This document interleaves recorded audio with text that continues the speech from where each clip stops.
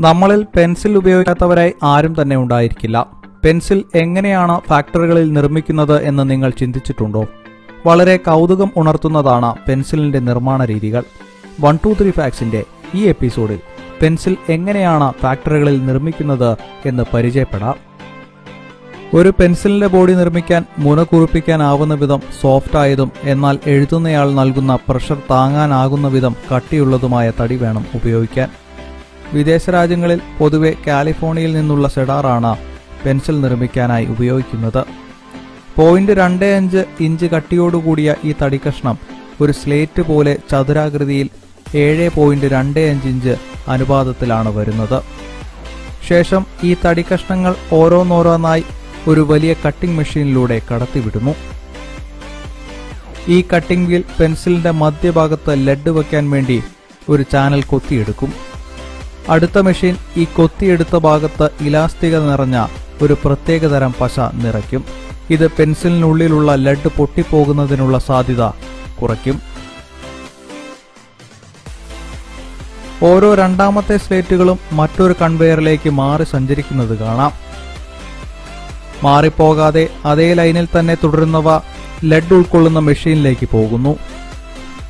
ഈ ലെഡ് ഗ്രാഫൈറ്റും ക്ലേയും ചേർത്ത് ആയിരത്തി അഞ്ഞൂറ് ഡിഗ്രി ഫാരൻഹീറ്റിൽ ഒരു ഓവനിൽ ചൂടാക്കിയെടുത്തതാണ്.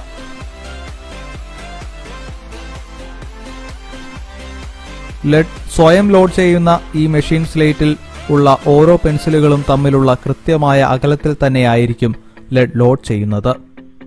ലെഡ് ഉൾക്കൊള്ളുന്ന മെഷീനിലേക്ക് പോകാത്ത മറ്റു സ്ലേറ്റുകൾ മറ്റൊരു കൺവെയർ ബെൽറ്റ് വഴി ലെഡ് വെച്ച സ്ലേറ്റുകൾക്ക് മുകളിൽ ഒരു സാൻഡ്വിച്ച് പോലെ പശ വെച്ചൊട്ടിക്കുന്നു.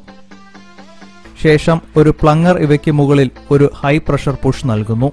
അതിനുള്ള പശ ഉണങ്ങുന്നതിന് വേണ്ടിയാണ് ഇത്. ഏകദേശം ഒരു മണിക്കൂറോളം ഈ പ്രഷർ നൽകിക്കൊണ്ടിരിക്കും. ശേഷം ഈ ലെഡ് സാൻഡ്വിച്ചുകളെ പെൻസിലുകളാക്കി മാറ്റണം. അതിനായി ആദ്യം ഒരു ഷേപ്പിംഗ് മെഷീൻ ഇതിന് ഹെക്സഗൺ ഷേപ്പ് നൽകുന്നു.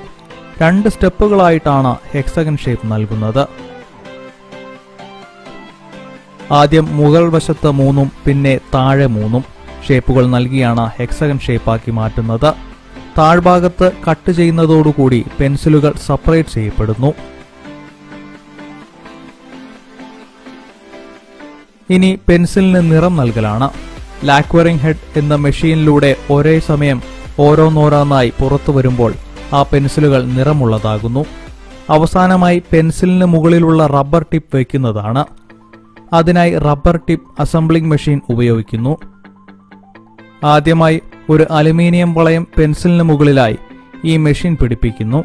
പിന്നീട് അതിൽ റബ്ബർ ഇറേസർ ഫിറ്റ് ചെയ്യുന്നു. ഇതോടുകൂടി റെഡിയായിട്ടുള്ള പെൻസിൽ മുനകുറിപ്പിക്കുന്നതിന് വേണ്ടി ഗ്രൈൻഡിംഗ് ഡ്രമ്മിന് മുകളിലൂടെ ഈ പെൻസിലുകൾ റോൾ ചെയ്യിക്കും.